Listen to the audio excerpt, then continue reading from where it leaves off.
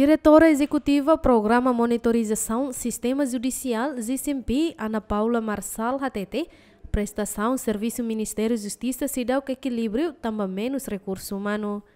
Também Ana Paula sugere para o governo e o Ministério da Justiça atuativo formação no NBL produz autor tribunal, onde reforça serviço e setor justiça. E a minha observação é setor justiça e a minha relator observação geral é 2022, né? A minha foca ali vai uh, o ensa caso peso serviço se autor tribunal ser né? No caso ser né registro do setor justiça e judiciário né? A minha lá equilíbrio. Caso ne betama registra né né? mais uh, as teves nessa rihun rua rihun tol mas itani autor tribunal ser né? Ema uh, por volta de 30 pessoas. Nem essa berarti da cari lá equilíbrio. É ainda o ensa ita é ainda bele atende caso atu sida.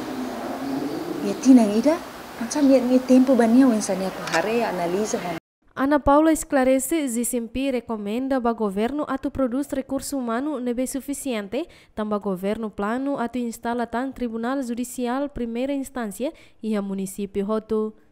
Me recomenda na Fatim Bahia governo esse Ministério da Justiça atau continua ativa a Centro de Formação Jurídica no Judiciário, atau continua produz e tem autor tribunal sira, atau nem tem tribunal sira, uh, bele aumenta, ou bele serviço rodia, ou bele peso la bele torna ali também, e tem a lei ne que a prova já tinha hira com a lei organização judiciária, agora não, atau iha tan uh, edifício tribunal head município balo, tolo tan selesai, ter etapa, etapa então kita uh, hakarak para bahira edifício ni hari autor tribunal ser serviço mas iya labela edifício hari itu ita uh, confusão hello número be autor ne atau coloca bahan menos Zisimpi nessa organização não governamental nebe durante ne hala monitorização não foi assistência legal ba vítima feto no labarik feto.